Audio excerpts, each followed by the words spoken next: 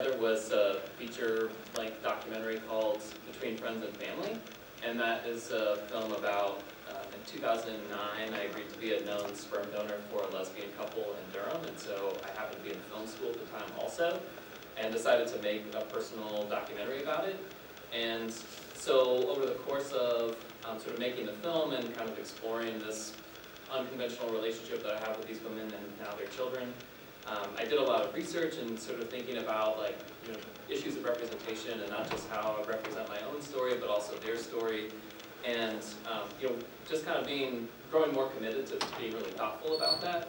And which is sort of how I encountered Carrie. I think we were sort of talking about those issues of representation Um, and at the time, I was in a master's program um, in women's and gender studies, and I was studying a lot about uh, queer theory and about feminist critiques of documentaries, so it was actually really helpful to become a little more involved in the actual construction of something that I was so accustomed to um, critiquing. So I helped Rick sort of in the final stages of that film.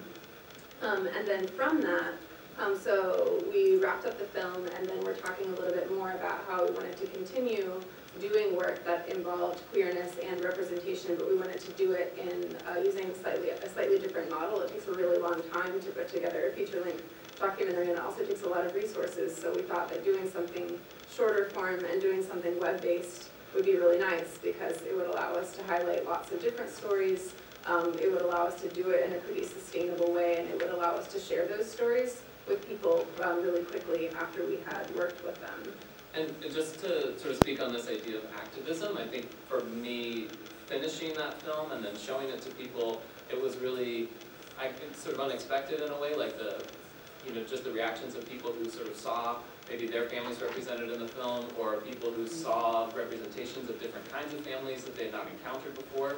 And so that um, was a really rewarding experience for me of just being able to see that and kind of talk to people, and everybody has sort of a different connection with it. Um, but it was like a long, you know, like four years of time to do it. Um, so it was sort of about, you know, thinking of how could, how could we kind of duplicate that experience, but in a way that wasn't so overwhelming.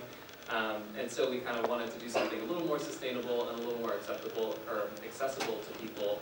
Um, so we kind of chose YouTube as this distrib distribution format so that it could just be out there and available to people and also be kind of a shorter turnaround time for us so that we could keep our sanity and under the work. Um, so a little bit about KIQ. So um, it's a series of short films. They're all under 10 minutes. Uh, we released our first one in January of 2013, so just about a year ago, and we've released eight uh, to date. Um, an example of some episodes, our most recent one is highlighting the internet as a positive resource for queer identified teens. Um, I worked with a former student who lived in a rural area of North Carolina on that episode. Um, we've also done sort of more like uh, episodes that profile really amazing activist work that people are doing in LGBT circles. Um, like uh, Chords, uh, queer-oriented rap and rock school, we went to their first summer at camp um, last year. Um, we got to highlight the amazing work of April Parker and the Reading Out Loud campaign um, and did a short project with her. Um, we've done academic episodes about the concept of performativity um, and profile the queer folk musicians and things like that. Um, we're currently working on an episode about creative responses to street harassment for queer identified folks. Um, so that should be coming out in a month or so. So a little bit about the concept of why why the name Keeping It Queer. Um, we felt that it was really important for us to be highlighting stories and narratives and experiences that are about the idea of queerness not just as a way to identify, but as a way to be in the world and also as a way to sort of highlight how it is that people keep it queer. So watching Brother Outsider, I was thinking, you know, how if I had the opportunity to make a KIQ episode with with Bayard Rustin, I think he kept a lot of things queer, um, and it would have been so great to to be able to highlight that in a, in a more specific way. Um, well, I, we are actually running out of time, but I, but I would suggest that maybe there might be some future episode with stars like maybe you. Oh, I was- I was on that. So definitely, actually, we should, um, do that. Unfortunately, the museum closes and it's definitely gonna take us out, so I just wanted, so I know Mandy was gonna give us specific things to get involved in it to do, and so I just wanted to move to that. Thank you. First of all, I appreciate this panel because what I'm looking at is how change happens, hearts and minds, whether it's film, dance, poetry, and also the concept of uh, public policy. And I'm thinking that, but also I have to say, for me to be sitting in this room on this day, with this film in this place, takes care of that little issue you just talked about. And the fact that we're now on our third, uh, third annual uh, Weston Symposium, thanks to Guilford College, and then partnering with the International Civil Rights Center and Museum, it's good. But also, just real quick, generational thing that's happening here in a major way. All of us born post-World War II baby boomers are now in our sixties that were in sixty, you know, like whatever those years were, seventy-nine million of us. How many people in this room are between the ages of eighteen and twenty-five? Eighty million of you. If ever there was a time to have a conversation intergenerationally about what we're gonna do, but not only the issues.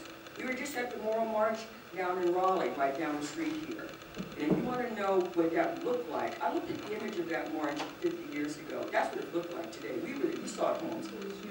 And what I'm struck by, and maybe it's the uniqueness of the South, but also, the interesting thing about the shifting, other shifting demographic, by, by 2050, this country will be majority people of color, California already is.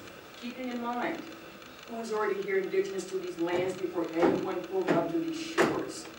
And if we keep that in mind, understanding about how we're coming right around the bend again, and how we have to think about not only being intersectional in terms of our, you know, our issues, but just the issues of race and class and gender and women being told, but not you a long time ago around like the right to vote, the right to, you know, serve in the Congress, the right to be in the military and or marriage and equality.